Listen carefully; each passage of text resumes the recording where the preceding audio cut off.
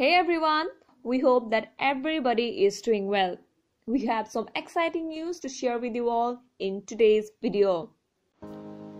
Life Below Zero is a documentary series that airs on National Geographic Television, which illustrates the daily and seasonal activities of subsistence hunters as they make their living in remote areas of Alaska.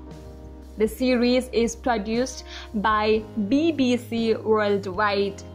The show rejoined the cast in 2019 and the fans were glad to see Andy Bassich return in action in Eagle, Alaska. He remains the most popular star of the show.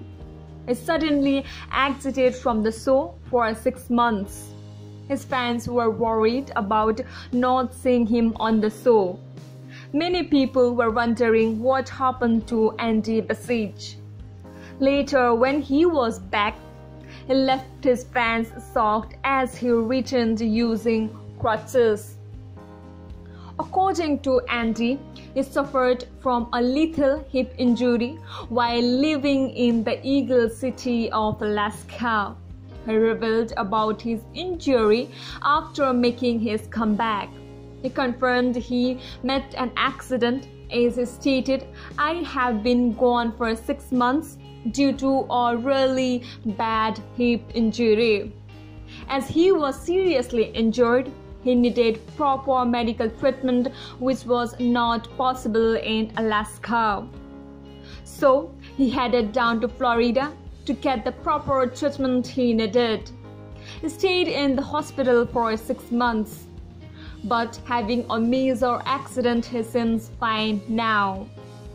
During this time, his girlfriend Denise supported him emotionally. Stayed with him in the hospital and encouraged him to recover soon.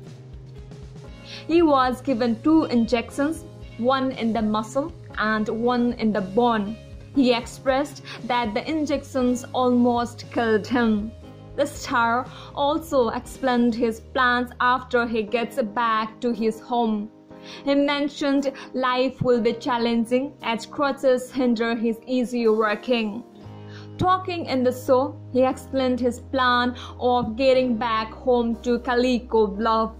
He wants to play a little bit of catch up this summer with getting his dogs back down there and getting his house back in order as it was unmanaged and unguarded for six months. As he mentioned about his girlfriend Denise Becker, viewers are interested in knowing more about her. In the initial days of Andy's on the docu-series, he was married to Kate Troke. Things did not work well between them and later they decided to part ways back. So the couple divorced in 2015 and Kate decided to live in Canada. After the couple's separation, he has been dating Denise. She is a Florida based trauma nurse by profession.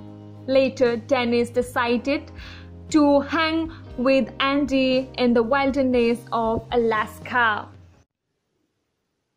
Thank you for checking this video out. We will see each other very soon with another video.